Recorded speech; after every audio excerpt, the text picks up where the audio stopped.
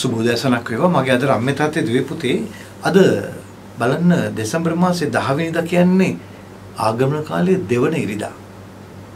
තවත් සතියකින් අපි ලං වෙනවා ක්‍රිස්තෝපත්තිය නැත්තම් නත්තලට. අද පළමු කියවීම තුළ තියෙන්නේ යසාය 40 අපිට කියනවා යසාය කියනවා අපිව සනසන්නට 16ක් හැටියට කෙනෙක් එන්න ඉන්නවා බලාපොරොත්තුවක් තියලා තියෙන්නේ. දෙවන කියවීමේ තියෙන පේදුරු 3 8 ඉඳලා ඉවරලා අපිට කියනවා ප්‍රේමවන්තයන් හැටියට ස්වාමින් වහන්සේ ඔබේ මගේ ජීවිතයට ආදරේ ගලායන සැලසුවා කියලා. ඒ වගේම සුදොස්විසේ මාක්ස්විසේ පළවෙනි පරිච්ඡේදයේ අපිට සඳහන් වෙනවා පාලු කරේ හඬගා කියන ශබ්දයක් හැටියට ස්නාක ජෝම්තුමා එනවා දෙවියන්ගේ මාර්ගය ජේසුගේ මාර්ගය පිළිල කරන තැනැත්තෙක් විදියට. පාලු කරේ හඬගාව මොරගාව සද්දයක් තමයි මේ ස්නාක ජෝම් කියන්නේ. මාවත හදාගන්න පෙරමග සරසන්න ඇදමාවත් ඇද අරින්න සමතලා කරන්න මේ උස්මිටිකම් දිගහරින්න මෙන්න ස්නාක ජෝන්තුමාගේ පණිවිඩය තුල ස්නාක ජෝන්තුමා කරපු කාර්යය. මෙන්න මේක තමයි දෙවැසි කාර්යය. අපි දන්නවා අලුත් ගිවිසුමේ පටන් ගන්න දිවසිවරයා තමයි මේ ස්නාක ජෝන්තුමා කියන්නේ. ඒ වගේම පුරාණ ගිවිසුමේ අවසාන දිවසිවරයා. මේ දිවසර හරි ප්‍රබලයි. ඇයි? ස්නාක ජෝන්තුමා කියලා කියන්නේ ජේසුගේ ඥාතියෙක්. ජේසුගේ ඥාතියෙක්.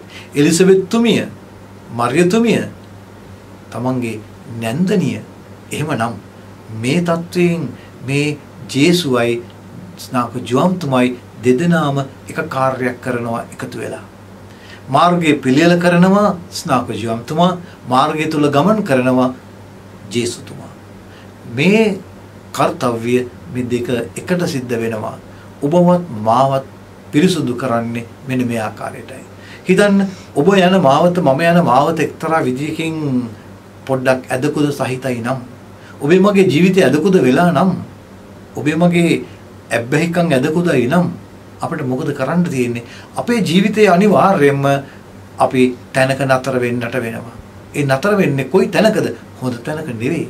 අපි දන්න හුඟක් වෙලාවට සමහර අය යාළුවෝ විදිහට ජීවිතේට එකතු වෙද්දී මේ එකතු වෙන යාළුවෝ ඔබව එක්තරා නොමග යවන එව නැත්තම් වැරදි දේවල්ට පොළඹ වෙන කෙනෙක් නම් ඔබ එයින් මිදෙන්නට ඔබ කරන්න උත්සාහයක් තියෙනවා නම් කරන්න.